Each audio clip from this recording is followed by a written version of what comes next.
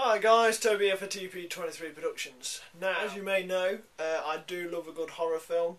Uh, zombies are my uh, sort of horror genre that I like. However, I picked up a film, Night of the Living Dead Resurrection, the other day for one English pound, and in all honesty, I think it was a bad choice. Now, I like films that are independent, uh, that are unknown, that makes them different. You don't always want to see a big budget film that is crap. And That's Living Dead Resurrection was a film that was created in 2012. Uh, I've never heard of Resurrection before. Um, Not Living Dead, of course, I've heard of it. Uh, a fan of it from George A. Romero. There have been several attempts to resurrect it without any pun, and unfortunately, these guys have decided to do it, and it is very bad. The basic story is a brother and sister bury a loved one. They go to see him. Brother gets attacked. Sister escapes. Goes to a farmhouse. Shit happens. That's pretty much the story. One major famous line is they're coming to get you, Barbara, and there's no more room in hell, the dead will walk the earth. This film does not include any of them. For about 10 minutes there's no talking at the start. Uh, there's happy slapping, which went out of trend years ago.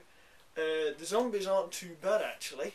The makeup, well done. Whoever did the makeup, well done to you.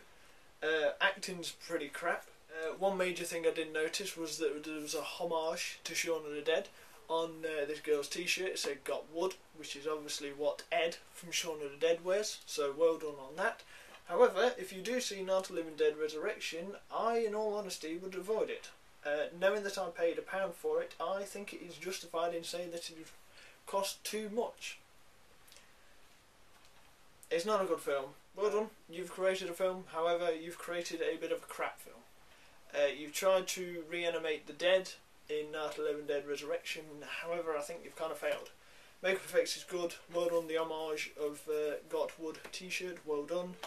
Um, but, yeah, I'd give this one a miss. Thanks for watching my pretty quick review of Night of Living Dead Resurrection. In all honesty, I would avoid it. Unless somebody gave it to you for free and you're a bit drunk, then it might be worth a watch. But as per usual, we the devoted links are down below as per usual. Go check them out. Use TobyWTD, gets you 20% off any We the Devoted items you decide to buy. Links down below as per usual. Not a living dead resurrection. I would avoid it at all costs. Thanks for watching.